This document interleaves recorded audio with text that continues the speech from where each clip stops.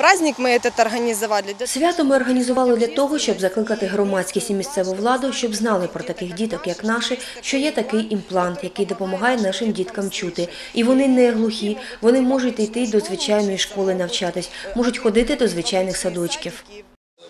У парку серце міста зібрались батьки, діти яких вже мають слухові імпланти, а також родини, діти яких ще стоять у черзі на утримання цього прилада.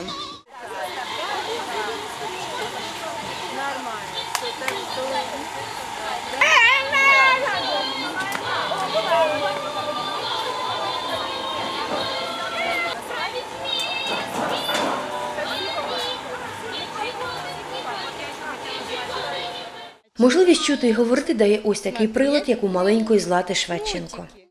Мы проимплантированы уже как э, в 2017 году, слышим 8 месяцев. У нас замечательно. Ми проімплантовані вже в 2017 році. Чуємо 8 місяців. У нас чудові результати. Вона говорить реченнями. Вона просить, що їй потрібно. Чує більш ніж на 10 метрів і може говорити, як її Может зовуть. говорить, как ее зовут. Как тебя зовут?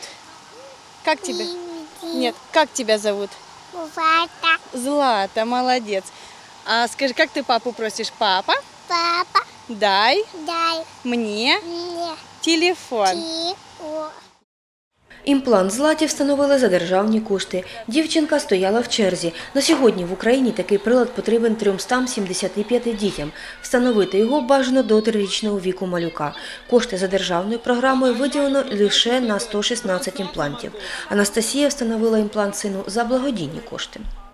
Надо просить еще, надо добиваться. Вообще мы бы хотели, чтобы в Николаеве... Треба просити ще, треба добиватись. Взагалі ми хотіли б, щоб в Миколаєві був, було своє фінансування, хоча б не імплантів, а хоча б комплектуючих, дротики, батарейки, акумулятори. Все дуже дорого коштує, дуже дорогий імплант.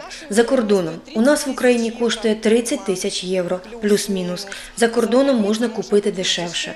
В нашому місті для таких немає реабілітаційних центрів для дітей з порушеннями слуху.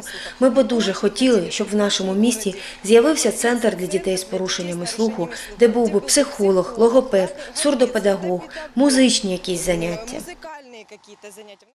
Музыкальные какие-то занятия. Інтернат для дітей з вадами слуху не підходить через те, що там використовують жестову мову. З дітьми, які мають імпланти, займається Людмила Кирилова, дефектолог обласної дитячої лікарні. У Дмитра Гаркуші імплант 11 років. Ми почули, як він розмовляє. Ну, Дима, Фамилия? Аркуша, мне 14 лет, В каком классе ты учишься? восьмо, В восьмом классе мальчик. а, в школе. Вот мальчик. Это он сколько с аппаратом? Ось цей хлопчик з апаратом вже скільки. Він один із перших у нас. Із перших отримав імплант. Мама ризикнула, мама розумничка. Взагалі у нас зібрались мами ось такі. Діти грали, читали вірші.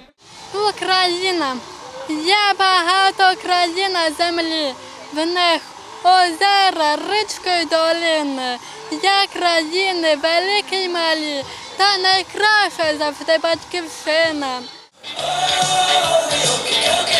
Давайте, друзья, вперед, молодцы!